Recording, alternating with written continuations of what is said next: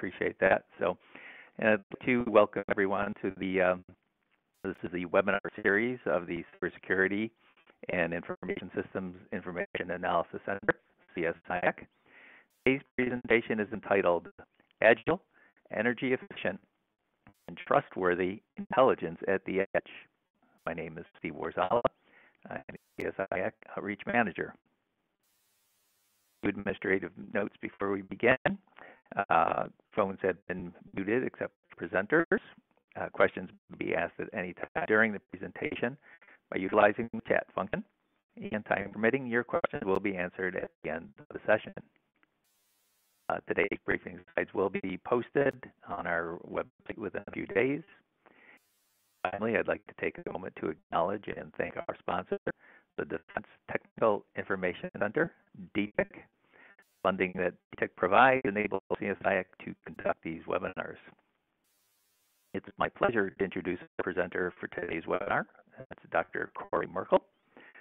Dr. Merkel is an assistant professor with the Department of Computer Engineering at the Rochester Institute of Technology. From 2016 to 2018, uh, Corey was a research electronics engineer with the uh, Information Directorate, uh, part of the Air Force Research Laboratory. His current research focuses on mapping um, focuses on mapping of AI algorithms, uh, primarily artificial neural networks, to mixed signal hardware and design of brain-inspired computing systems using emerging technologies and trustworthy AI hardware. Dr. Merkel's research has been published in a number of peer-reviewed conferences, journals, and books. He earned his uh, BS and MS degrees in computer engineering and a PhD in microsystems engineering, uh, all from RIT. We'll now turn the presentation over to Dr. Merkel. Good afternoon, Corey. The floor is now yours. All right, thank you very much. Uh, first of all, I, I want to thank uh, Steve Warzala and John Reed and Joe Caroli for inviting me uh, to give this this webinar. So the first webinar I've ever done. This is uh, uh, kind of exciting. So what I want to talk about uh, today is some of the research I've been doing really since I started my PhD back at RIT in in the early 2010s, and then uh, you know, that continued through uh, my time at the Air Force Research Lab and now as a faculty uh, member at RIT. So after a brief inter uh, introduction, uh, we'll take a look at some of the different research areas that our group focuses on most heavily. And so those are essentially uh, circuits for artificial neural networks, um, random artificial neural network uh, topologies, and then stochastic uh, information representation techniques uh, in artificial neural networks.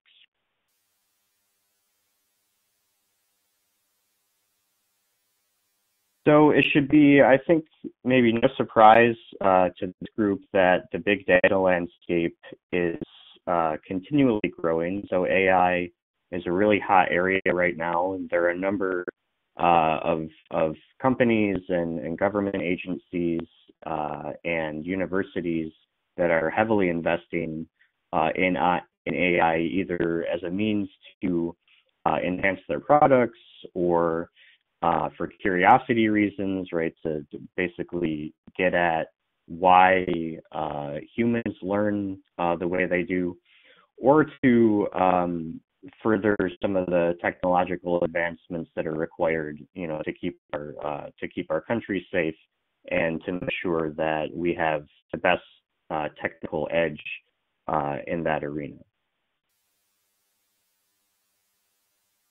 So up until maybe about 2012, we had this sort of uh, interesting dilemma where a number of uh, deep learning algorithms existed, but they couldn't really handle the amount of data that we were throwing at them.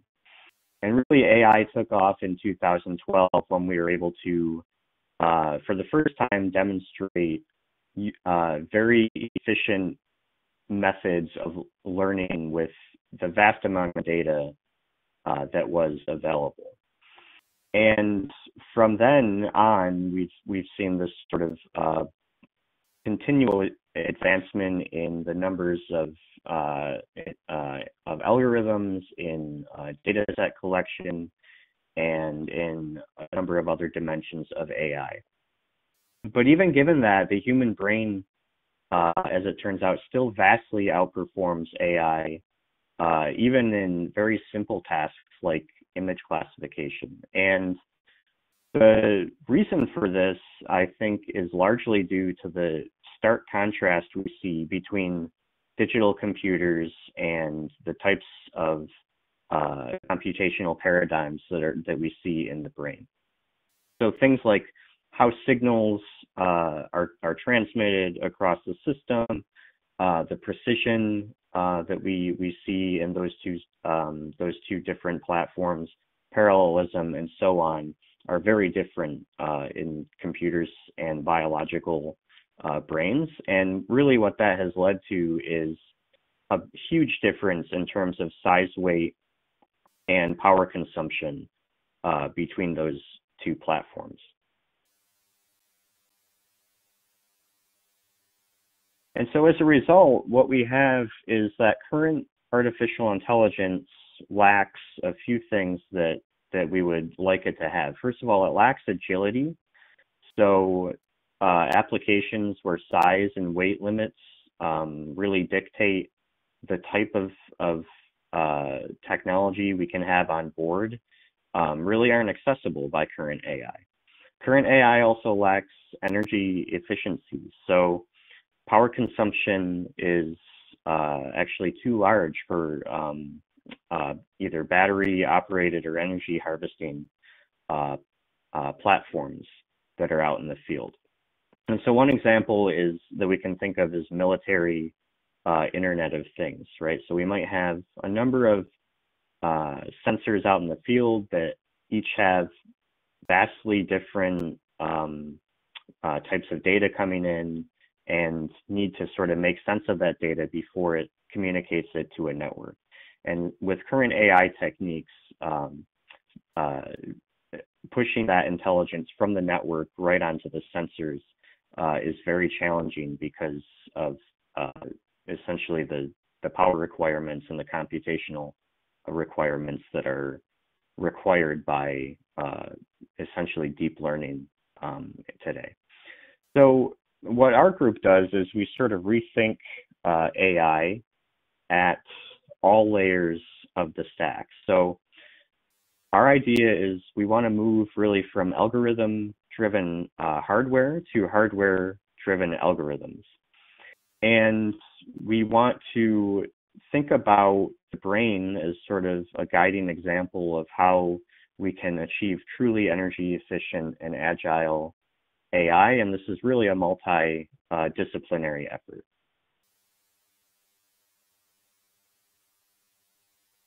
So our lab's mission statement is basically we are interested in advancing the field of artificial intelligence by exploring the interplay between a number of, of different uh, domains that we collaborate uh, with, which is includes neuroscience, uh, machine learning, and uh, experts in novel hardware.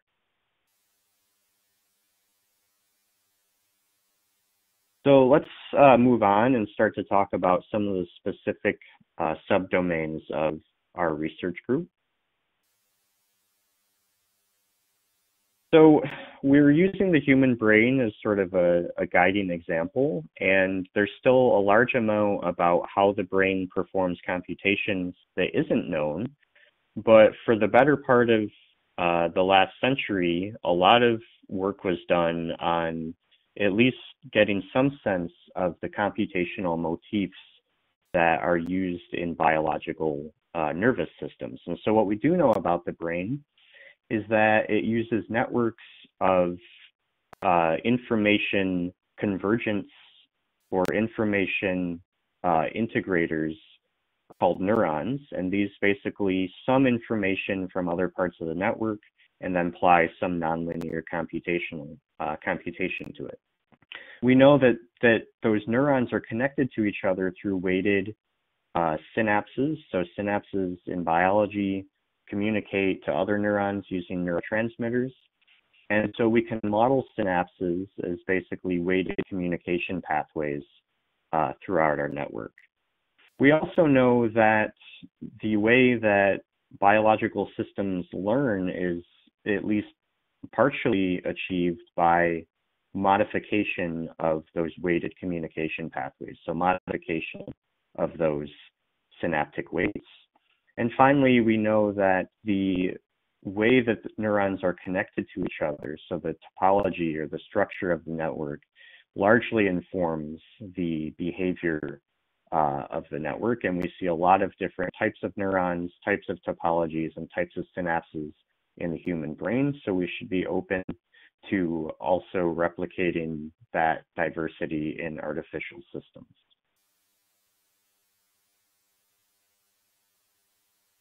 So one of the uh, types of technologies that we've been very interested in for implementing artificial neural networks in hardware is something called a memristor.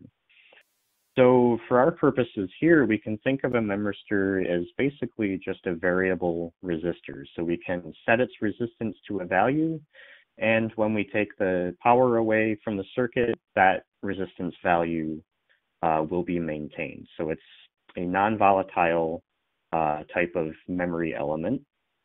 And the nice thing about it is it really facilitates the three main things that biological synapses facilitate, which are computation, memory, and learning. So we know that resistors, for example, can perform computation just through Ohm's law. So the voltage is equal to the current times the resistance. So we have a multiplication uh, that can be performed by this simple device. Since the resistance value that's stored in the memristor is non-volatile, we can also use memristors as memory elements.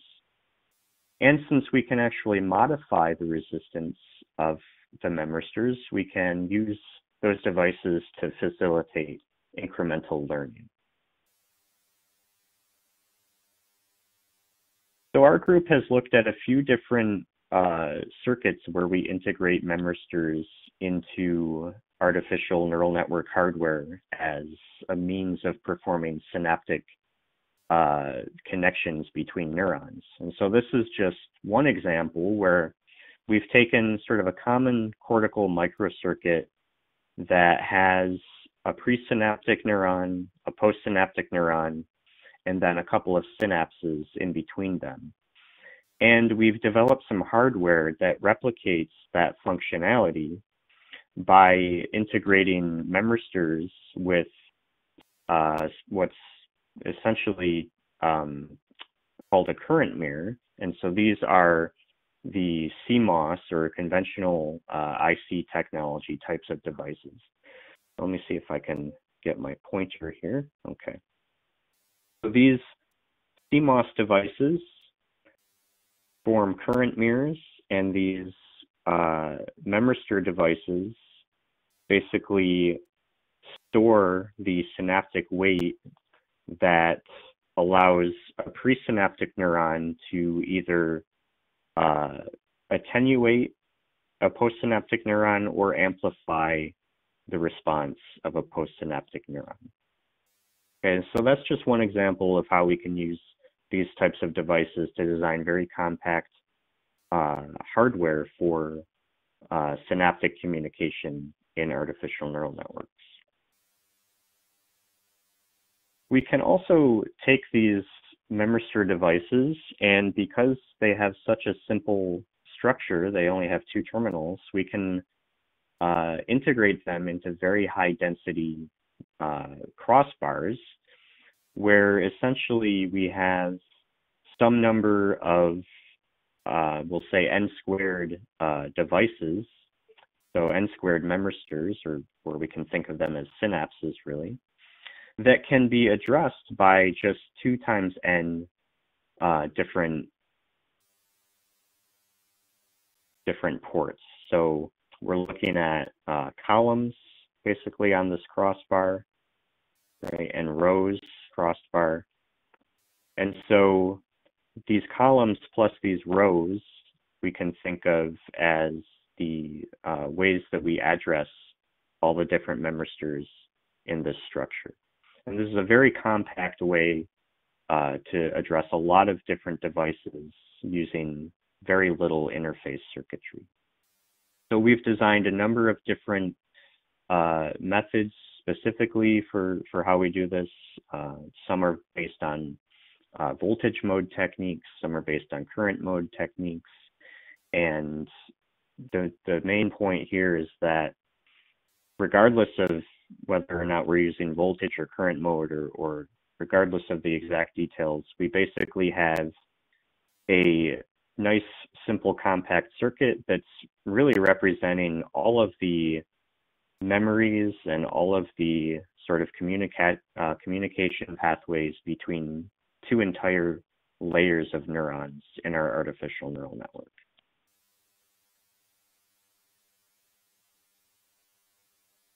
So we can uh, build this up even further and we can think about taking these memristor devices and these memristor crossbar circuits and integrating them into very energy efficient neural cores, which can then communicate with each other over a network on chip. And so I'm showing one example here of a design uh, that we developed a few years ago where we have, again, one of these memristor crossbars that is storing synaptic weights. And then we have some interface circuitry that can perform different neuron level computations, whether it's nonlinear uh, activation functions or uh, doing other sorts of post processing uh, to get that signal ready to send to the rest of our network. So if we think about how something like this, how this type of memristor crossbar based circuit would compare to a state of the art uh, CPU, at least for neural network types of computations, we see, on, especially on the bottom uh, table here, that the memristor based implementations can actually give us hundreds of thousands uh, improvement in power efficiency over something like a CPU. So uh, here we're saying uh, we're comparing to what's called a, a, RISC processor. So that's a reduced instruction set um, computer. And we see again that we have close to 200,000 X improvement uh, in power efficiency because we're in, uh, integrating these very low power memristor devices uh, into our circuit.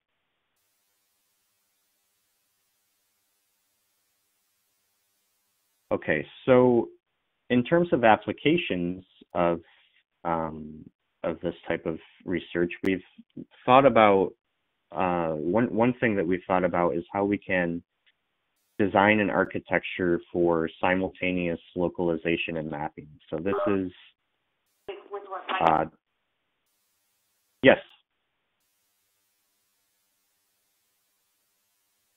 Was there a question? No, I think you're. I think you can proceed. Okay, so simultaneous localization and mapping, we can we can think about uh, this sort of scenario where we have maybe a drone or some other uh, robot that's in sort of an unfamiliar location, is trying to find uh, some target and maybe it doesn't have GPS connectivity. So it has to uh, simultaneously locate something, and to do so, it has to sort of map its environment uh, as it moves throughout it. And so we've been looking at the idea that we could use a different flavor of these memristor devices, in this case, uh, we're considering what, what are called gated memristors. So instead of just having two terminals, they actually have three terminals.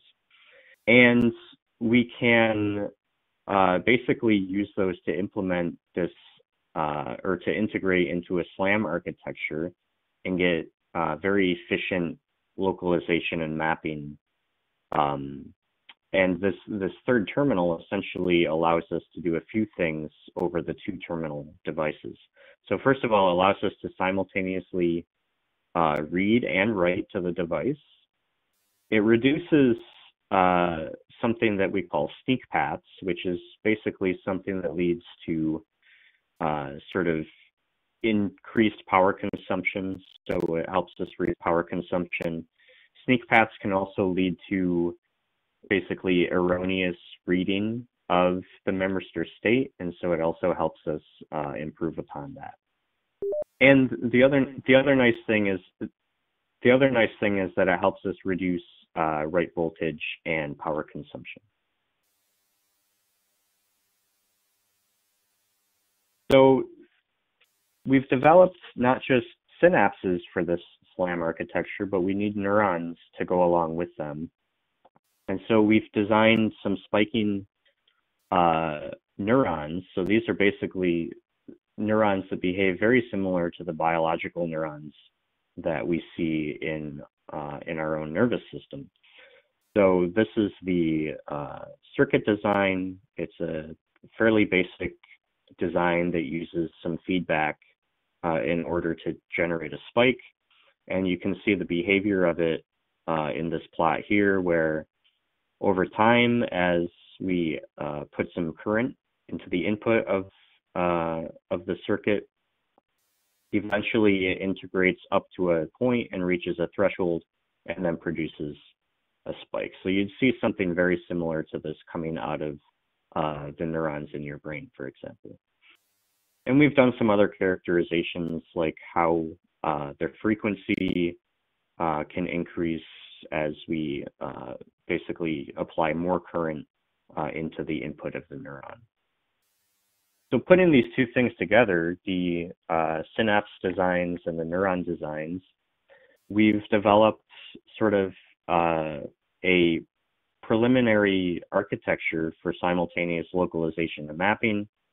And I won't go through all the details here, but we've essentially found that we can very efficiently, at least in a constrained environment, in a lower dimensional environment, so in this case, just two dimensions, we can perform uh, basically landmark uh, finding through uh, through learning and with very low low power. So this I think this slide uh, gives a nice example. So the task for our robot was essentially to find a blue target in our environment. So it started at the green, and the first uh, the first part of the algorithm basically the uh, robot is just exploring the environment. So it comes across red another red and orange and then it finally finds the blue target. And along the way it's making associations between its location and the types of landmarks it's seen and then in the second trial, it has learned to go directly from the green starting point to the blue target because of those associations that it's made.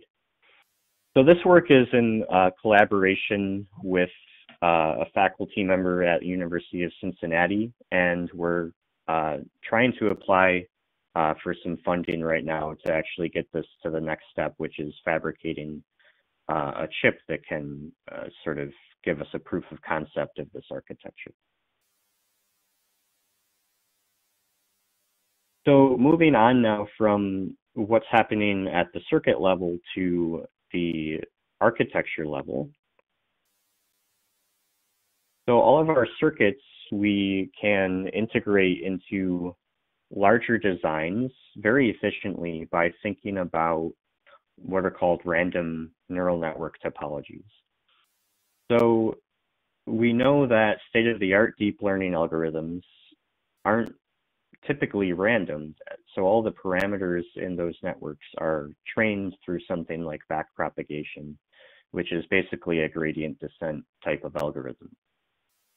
However, in hardware, we get different types of randomness, so different types of stochastic behavior uh, for free from a lot of different underlying mechanisms. And so if we can think about how we can use that random behavior in a useful way, then we can get very, very efficient uh, implementations of AI. And so the idea is that we have artificial neural network topologies now with some sort of fixed uh, and random synaptic weights. And as I said, we can really leverage the natural stochastic behavior of devices like memristors. And if we're only learning now a subset of the parameters in our network and leaving some of them as just fixed random values, we're also going to get a very uh, largely running cost. So I've uh, drawn just one example of what a general random uh, neural network topology might look like here. So this is essentially uh, a network where the output weights, so the weights between the neurons in the output and the layer before the output, those are trained. So we have to do some training in order to get the network to perform the tasks that we want it to. But all of the other synaptic weights, whether they're feed forward in this case, or they're feedback, so recurrent, those can be fixed and random, or some subset of those can be fixed uh, and random. So there's a few different flavors of how this uh, might look like in particular, and, we, and we've looked at um, basically each case. So in the case where we only have feed forward random weights, uh, this is actually an idea that was proposed uh, a while back uh, by Huang uh, and his coworkers. And the type of network, uh, so this type of network is called a, an extreme learning machine. And the idea is that we take some data, we cast it randomly into a high dimensional space using these random weights. And then we learn the features, the random features in that space by performing some simple linear regression uh, analysis. And so we've uh, built different hardware architectures that can do this very efficiently uh, and tested it on a number of data sets, including the handwritten uh, digit classification data set, MNIST.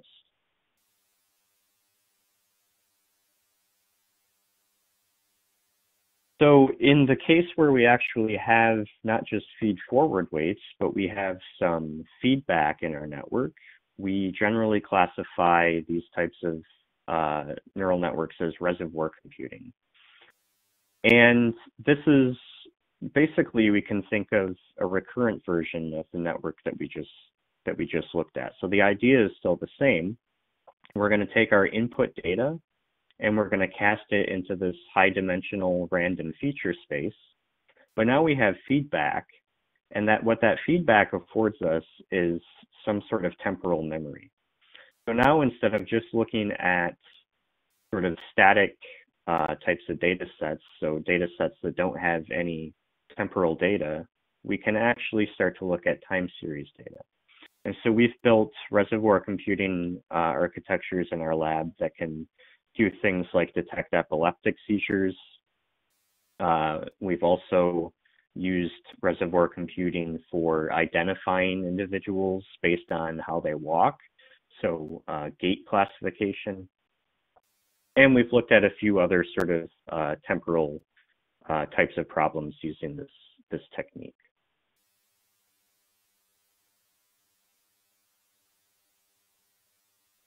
So to me, I think the most surprising thing is that we can actually use this idea of random weights even with the most state-of-the-art types of neural networks. And these are the deep learning neural networks that are being used in all of the image classification uh, types of types of work that that a lot of universities and a lot of companies uh, are are pursuing. And so the idea here was we're basically we're interested in if we took one of these deep learning uh, convolutional neural networks, which have all of these sort of 2D spatial filters, and we replace those filters with just random weights, we we're wondering what type of uh, response we would get from the network. And so what we found was uh, pretty interesting. So in this image here, what I'm showing is the uh, type of image that would maximally uh, maximal give a maximal response essentially from different random filters. Okay, so in some cases we see that random filters are maximally responsive to random images. So that's kind of what we expected to see throughout. But in other cases, we see that even random filters are maximally responsive to very regular types of features in the image, like different sort of grading patterns, different kinds of uh, edge patterns in different orientations, and different types of patterns that maybe select uh, interior parts of the image more or less than uh, external uh, parts of the image. And so what we did is we took this idea and uh, we trained a neural network, a convolutional neural network on uh, synthetic aperture radar data. And what we found was that we can achieve state-of-the-art uh, classification accuracy, so close to 100% um, test accuracy using a convolutional neural network with almost entirely random filters. So just a little bit of training on the output layer was all that was needed. And so the, I think this was a really uh, surprising result, and I think it highlighted that a lot of the deep learning neural networks that we see today are incredibly over parameterized, and there's a nice opportunity to reduce the size of those networks and to make them more compact, especially for embedded applications. So we've also some, uh, done some statistical modeling of these random uh, neural networks. Uh, so we've, this is a bit math heavy, so I won't go through all the details, but we basically have found that if we have uh, less, much less data than the size of our model, which might be the case uh, when we have uh, data sets that are basically hard to collect or hard to label or you know might be in some kind of a restricted domain then we get um, sort of very uh, interesting behavior as the size of that data set sort of approaches the size of our model. And in fact, if we have a number of uh, training data that is equal to the size of our, moder, uh, of our model, then we found that we actually have maximized the amount by which our model can overfit uh, to the data. So it is sort of in summary of that, why that's important is we need to be aware of the size uh, of our model in order to select a data set size that sort of uh, either avoids this area or we need to get some sort of uh, data augmentation have some kind of data augmentation technique that allows us uh, to basically improve or reduce the amount of overfitting um, that our network is doing.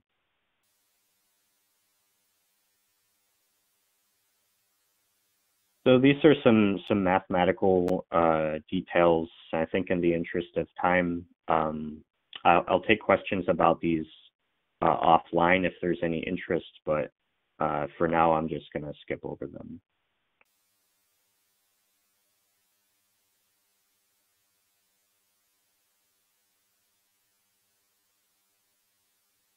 So the next step of this this modeling is, and to back up a minute, actually, really the, the goal of this is, so we have networks that are performing well using completely random weights. And so, I mean, curiosity forces us to ask why is that happening, but also if we have some system deployed in mission critical applications, right, there's going to be um, there's there's going to be some reluctance to rely on uh, randomness, right, to produce uh, outputs of these networks. So we need to know, we need to have a better theoretical foundation and and have a better idea of how and why, uh, and, and in what cases these types of networks are going to fail.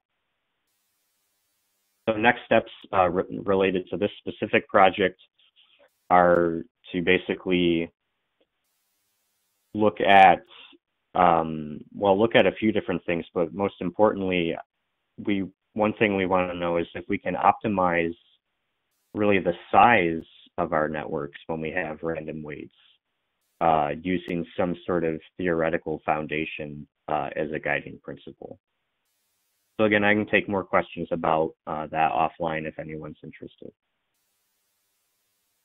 So I want to move on now to uh, something that's really interesting, which is the idea that we can actually get really efficient computation in artificial neural networks by leveraging a different way of really representing the data in our networks. And typically the way we represent data, at least in a digital system, is with these sort of uh, place-dependent binary representations. So the idea with a stochastic representation is to basically throw that out and just represent values probabilistically. Okay, so I have an example uh, that I've written here. If we wanted to represent the fraction sense, the way we would represent this stochastically is we would have a, a what I call a stream of bits. So this is basically a, sequence of bits. And the probability that any one of these bits is set to one would be three out of seven. So that's how we would represent uh, that information. And we can also represent, for example, uh, negative numbers using this, this technique by modifying it a little bit. So once we have that kind of representation in our system, some really interesting things happen. Namely, we can perform computations on the data very efficiently by using what's called stochastic logic. So we can perform things like multiplication, which would normally take several uh, adder circuits and AND gates. Uh, in this case, using just a single AND gate. So for any uh, arbitrary, we'll say bit width or, or precision of our two operands, Z1 or Z2, we can get the multiplication of those two values using just a single AND gate. And so that's really a huge, huge savings. And we can do other things like negate values or uh, evaluate um, different polynomials, lots of other things just by using very simple digital logic circuits with information that's encoded probabilistically. So one of the places we have been thinking about using this is in the training algorithm that's used to uh, basically get neural networks to learn some particular task. So these neural networks are usually trained by using some flavor of what's called gradient descent learning. And so some of you might know this uh, as backpropagation. And the idea is that we look at how the cost or how um, basically how well our network is doing. And so we call that the cost function. We look at the cost function and how it changes as we change different parameters in the network. And then we use that to inform how we should change the parameters in the network incrementally. And when you actually implement this in practice, the uh, amount by which you have to change a, a, parameter, in this case it's one of our synaptic weights, becomes really a product of several different uh, partial derivatives of our cost function. So in other words, we have several multiplications that have to take place.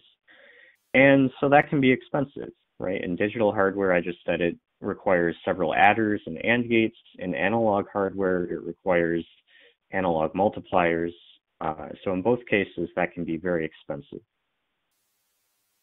So we've tried uh, to think about how we can actually reduce the cost of this computation using this idea of stochastic logic. And we've found, for example, that in one uh, type of gradient descent algorithm, which is uh, related to something called the perceptron learning rule, where we basically are looking at the error uh, between our uh, network output and our expected output, as well as the input to the network. So we have to perform a multiplication between those two things. And to do that, we replace the analog multiplier with just a stochastic, uh, an AND gate basically that performs multiplication using uh, stochastic representations. And so what we found was that in the case of the stochastic implementation, we get about at least three and a half times area reduction uh, over the analog uh, implementation. And the good news is that both implementations give us identical results when we implement them into a neural network that learns something like the MNIST uh, digit classification data set.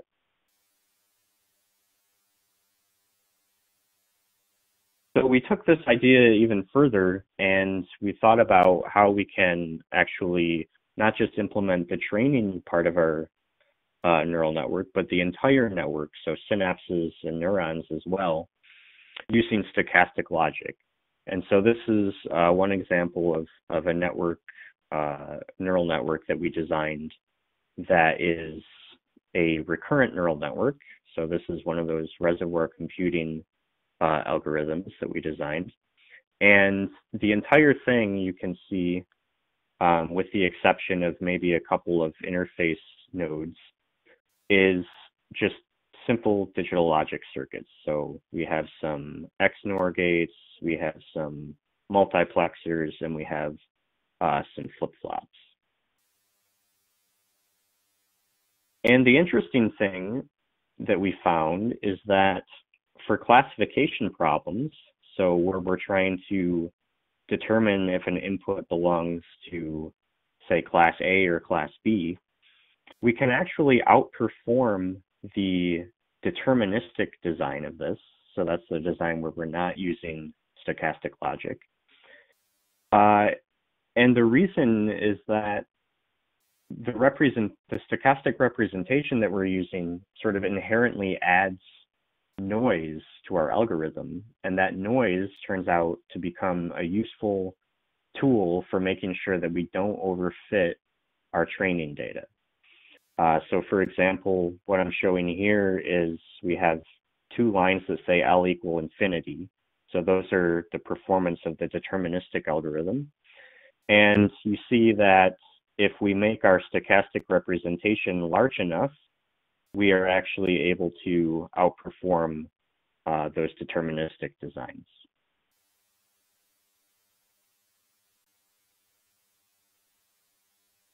So we've also looked at uh, how we can actually implement this on something like an FPGA. So this would be you know, something that could be out in the field for uh, uh, immediate or near-term uh, kind of use.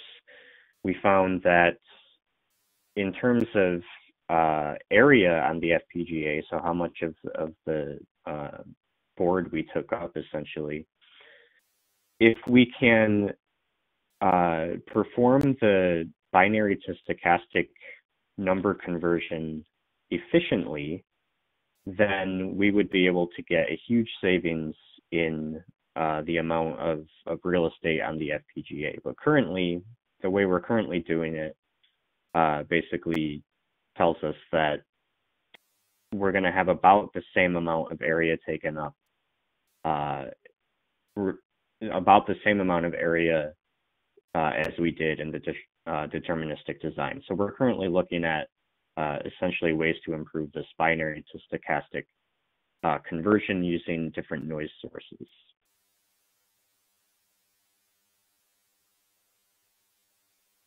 So some future uh, work that our group is interested in, and I'd be happy to you know talk about any more of this offline or uh, when we when we get to questions. So we're always looking for more biological uh, inspiration.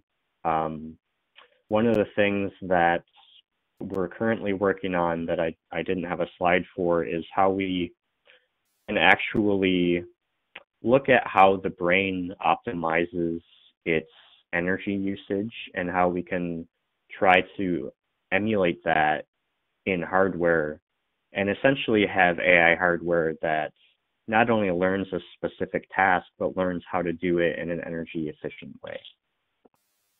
Uh, we've also recently been very interested in what's called adversarial machine learning. So adversarial machine learning is a really hot topic these days, and it's essentially related to the idea that current state-of-the-art deep learning algorithms are brittle in the sense that small modifications of inputs to those types of algorithms uh, can be used to fool the algorithm in a malicious way.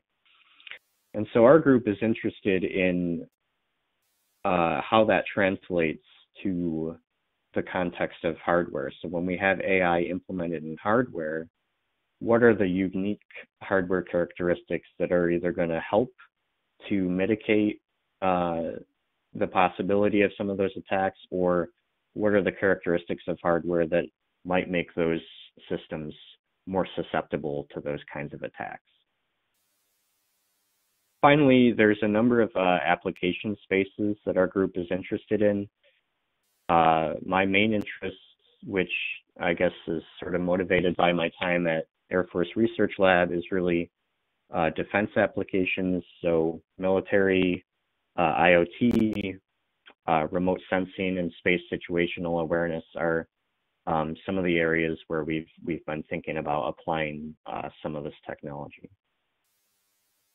Uh, and so with that, I know we got a little bit of a, a, late start, so I hope there's still some time for questions, but uh, thank you very much for listening, and I'll take uh, any questions you might have.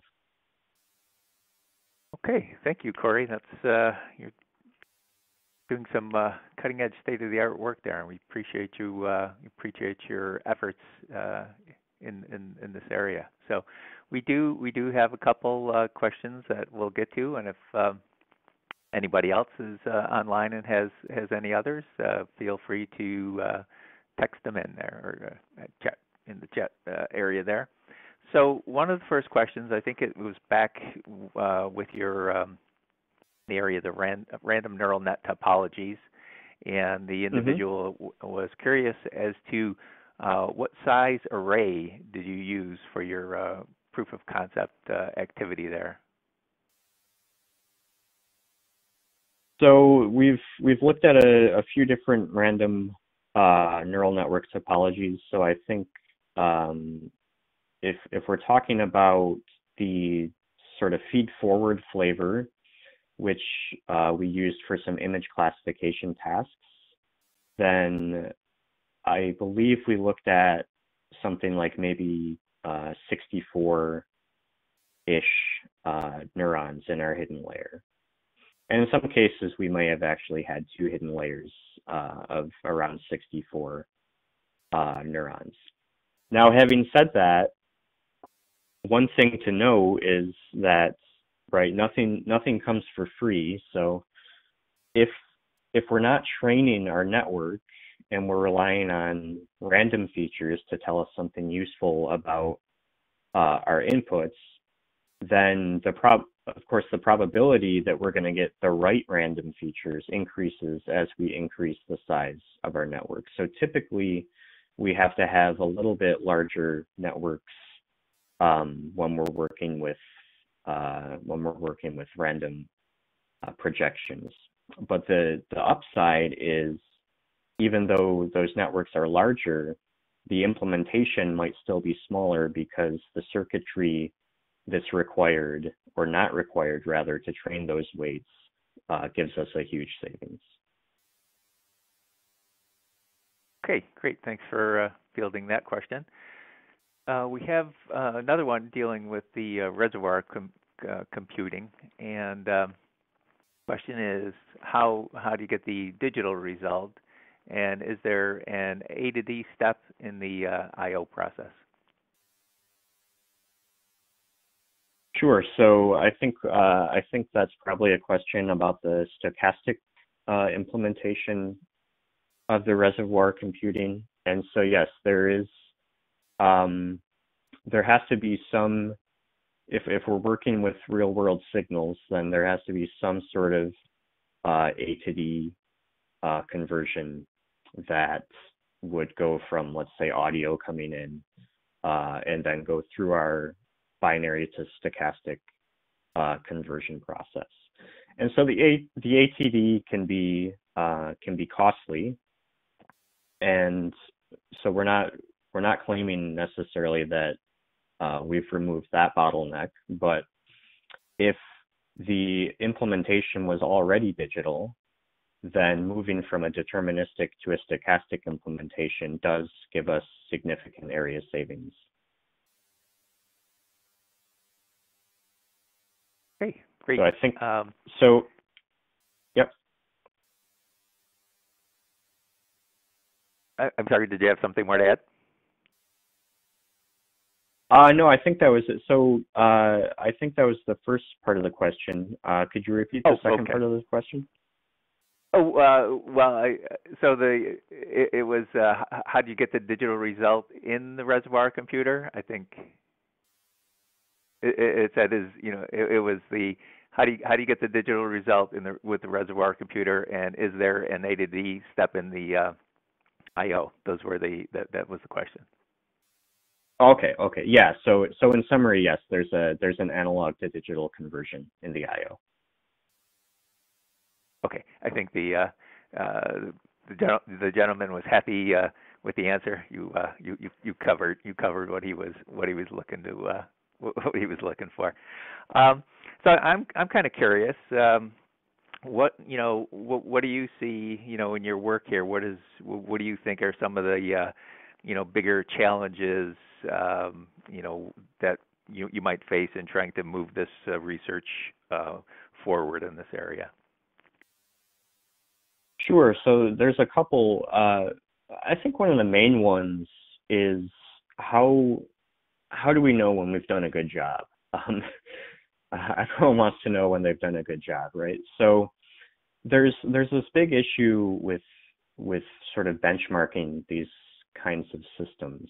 Um, so each you know there's a lot of universities and companies that are working on this this kind of research and each one sort of uh, uses maybe a slightly different benchmark to compare their work with other work. Uh, sometimes it's it's you know to show their work in in the best light, uh, and sometimes it's just because there aren't better benchmarks available. So something that our group is sort of interested in is sort of kind of a one-off uh, side project that we're, we're collaborating with uh, some some other folks on is developing better benchmarks that don't just tell us, for example, uh, how much, you know, how power efficient our system is, or don't just tell us how accurate our system is, but tries to sort of incorporate everything that we want in these types of systems. So, learning capability, um, expected performance on certain types of problems, uh, energy efficiency, right? All of those sorts of things into a single, a, either a single sort of quantifiable uh, benchmark or set of benchmarks. And our approach has uh, been to use some concepts from information theory that we are seeing being applied to some of the uh, deep learning algorithms uh, recently, actually, and they're being applied basically to sort of uh, remove the black box right from the algorithm and get a better idea of uh, what's going on inside. So uh, benchmarking, I'd say, is probably the the biggest challenge uh, going forward. Okay, thanks for uh, thanks for uh, elaborating on that. And so I've got one other thing I'll throw out at you, and I'm just wondering if there are any other specific characteristics of the brain, you know, that that might shed some light on how to how to improve uh, artificial intelligence. Sure. So, uh, in in this talk, I highlighted, um, you know, things that are very well known from the neuroscience community. So, uh, you know, we know that there's different types of networks in the brain, and, and they're composed of neurons and synapses. And so, uh, the, the work on artificial neural networks spans all the way back, you know, to the 1940s and even before. But I think more recently we're seeing some very fundamental differences in artificial between artificial neural networks and the way or the paradigm that's used in biology to perform computation, which is becoming informative. So one difference is the amount of uh, recurrency that we see in biology. The state-of-the-art deep neural networks are mostly feed-forward, um, so they don't really have a lot of, of, of feedback from, we'll say, uh, more uh, abstract informa- uh, information representations back down to more, uh, we'll say, raw information representations. But in the brain, we see a whole lot of that. And uh, one of our group's hypotheses is that that's actually something that, if we add to artificial neural networks, could help substantially in, in reducing the susceptibility of these algorithms to different types of adversarial uh, attacks. So the the second thing that I'll uh, I'll mention is the sort of whole other type of uh, cell that we see uh, in neural networks, which are neuroglia. So these actually outnumber neurons in our brain, but we don't typically see them in uh, we don't typically see them incorporated into artificial neural networks because I think until recently it was thought that they were just sort of a support structure for neurons. But some of the new research suggests that they actually perform um, very important computational roles. They help to regulate energy uh, in the network. And so I think looking, taking a closer look at the functions those are performing in a biological setting and thinking about how we can maybe emulate some of that in artificial systems uh, is really important going forward. So I'm I'm not a not a hundred percent sure of this, but I thought I thought I heard I thought I recall that uh, they uh, they had actually dissected uh, Einstein's brain and when they did the analysis on it, uh, I, I think they they found that he had like a, a much higher percentage of glial cells than like the average person. So so there could be something, you know, there there could be something, uh, you know, there to those, you know, a, you know, trying to add that into your, in, you know, into your uh, your research. That that that that could be uh, that could be an interesting area for exploration. Yeah, yeah. So I, I've heard that as well. Um, yeah, I, I think I think there's just a whole lot about the brain that's still unknown, and there's a lot of exciting research coming out, you know, every day. And so I think just being vigilant and, and keeping an eye on what the neuroscience community is doing, uh, and trying to to use that information to improve our systems, our artificial systems. Uh, I think that's that's basically the key. Okay. Well, uh, Dr. Merkel, I'd like to thank you for taking the time to share your uh, your research uh, with us. Uh, like I said, very very interesting uh, work you're doing, and I'd like to thank the uh, audience for for joining us today. And Cory, if you have any any last words, you can Uh, sure. So yeah, I want to again. I want to thank uh, uh, Steve and John and, and Joe Caroli uh, for inviting me to to give this talk. Um, apologize, we got off to a little bit of rough, little bit of a rough start, but uh, hopefully I provided some some useful information to everyone out there in uh, in webinar land, and um, I hope everyone's you know in light of recent events staying safe and healthy and feel free to uh, you know follow up on any points that you uh, think are interesting. You can certainly find my email online, and I'd be happy to talk about anything else uh, that you might be interested in. Okay, that's great. So, uh, so folks, uh, like you said, Cory, Cory said, if you have questions for him, he's happy to uh, happy to take your questions. And once again, thanks for joining us, and look forward to seeing you at a future webinar. Thanks, everybody. Have a great day. We'll uh, talk to you soon. Bye bye now.